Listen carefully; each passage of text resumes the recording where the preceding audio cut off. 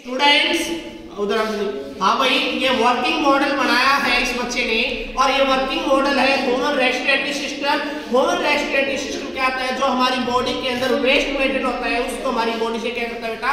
Remove करता है। अभी ये स्टूडेंट इसकी आपको कंप्लीट इंफॉर्मेशन देगी with model made the excretory system uh, working project. So we will uh, tell you how it works, uh, how it works, or how the waste gone out of this. So first we have to take the bone and put it.